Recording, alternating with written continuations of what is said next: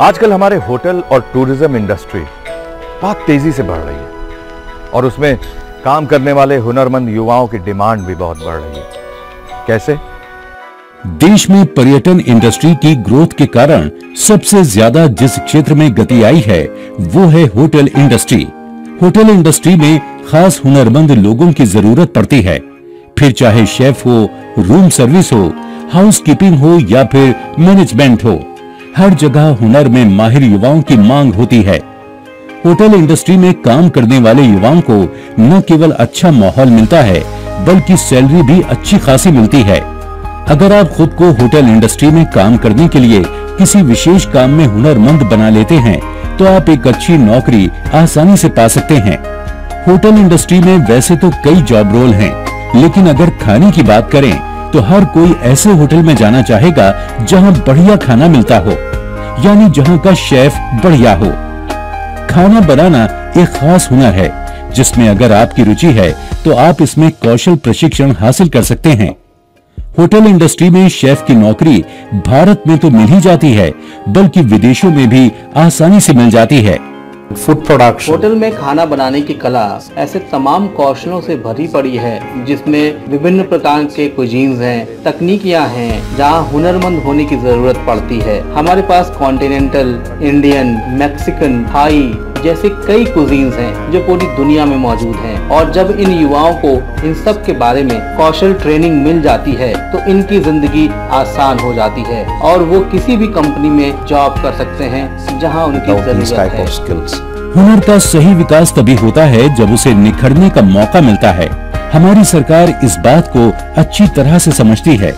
इसी को ध्यान में रखते हुए देश में युवाओं के बेहतर विकास के लिए प्रधानमंत्री कौशल विकास योजना के ज़रिए उन्हें प्रशिक्षण देकर हुनरमंद बनाया जा रहा है। Very aptly our prime minister हमारे प्रधानमंत्री ने ये पहचान की कि हमारे भारत के युवाओं में हुनर की खासा कमी है। तो उन्होंने स्किल इंडिया कार्यक्रम की शुरुआत की है। और मैं मानता हूँ ये प्रधानमंत्री जी का बहुत अच्छी पहल है।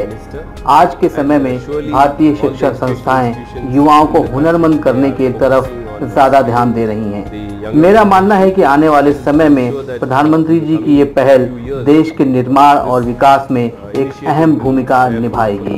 And help in the progress and development of the country as a whole hotel की सबसे पहली पहचान उसकी साफ़ सफ़ाई से होती है।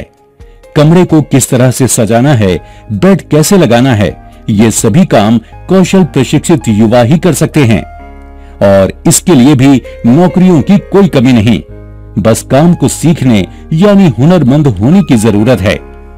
किसी भी संस्थान, ऑफ़िस और होटल को चलाने के लिए एक कुशल मैनेजर की ज़रूरत होती है, जो हर काम को समझता हो और उसे मैनेज कर सकता हो। Candidate learn hoteliering and the basic skills in hoteliering hoteliering में जो कैंडिडेट बेसिक स्किल सीख जाते हैं, वो हॉस्पिटैलिटी के किसी भी क्षेत्र में काम कर सकते हैं। ये इस फ़ील्ड की खास बात है। इसलिए जो युवा होटल मैनेजमेंट में हुनरमंद हो रहे हैं, वो आईटी कंपनी के केटरिंग डिवीज़न में भी काम कर सकते हैं। वो आर्म फोर्सेज में जा सकते हैं। वो बैंकिंग सेक्टर, होटल इंडस्ट्री और ट्रांसपोर्ट सेक्टर जैसे रेलवेज में भी जाकर काम कर सकते हैं। वो एयरलाइन ज्वाइन कर सकते हैं। केबिन क्रू या ग्राउंड पर भी काम कर सकते हैं। इसलिए जहाँ भी इस तरह के हुनर की डिमांड होती है, जैसे गेस्ट रिलेशन, पब्लिक रिलेशन या बार टेंडिंग का जो हुनर है या फ़ूड प्रोडक्शन का जो हुनर है, ये सब बहुत खास तरह के हुनर हैं, जिनको लग कर सीखने से बहुत सी संभावनाएँ बन जाती हैं, जहाँ बहुत कुछ संभव है। And food production is an ocean of skills. Hotel industry की बात करें तो इसमें भी कई सारे ऐसे युवाओं की डिमांड रहती है जिसमें उनकी क्षमता के अनुसार जॉब मौजूद है। होटल इंडस्ट्री में कम्युनिकेशन का बड़ा रोल होता है जिसमें कस्टमर को अपने यहाँ की सुविधाओं की जानकारियाँ दी जाती हैं। अभी हम यहाँ पे बहुत सारा स्किल सीख रहे हैं। सबसे पहले हम हॉस्पिटैलिटी कम्युनिकेशन सीख रहे हैं। हम कस्टमर से कैसे बात करेंगे, कैसे कस्टमर से डील करेंगे, वो सब हम सीख रहे हैं। और हम फ्रंट ऑफ़िस स्किल्स सीख रहे हैं और F n B service skills F n B production skills और बहुत सारा स्किल्स हम यहाँ सीख रहे हैं। करियर के अवसर हर जगह मौजूद हैं। बस आपको जागरूक होने की ज़रूरत है। अगर आप जागरूक होकर अपने सपनों को पूरा करने के लिए कौशल प्रशिक्षण को अपनाते हैं तो निश्चित ही आपको अपनी मंजिल ज़रूर मिलेगी। इसलिए हुनरमंद बने और अपने सपनों को साकार करें।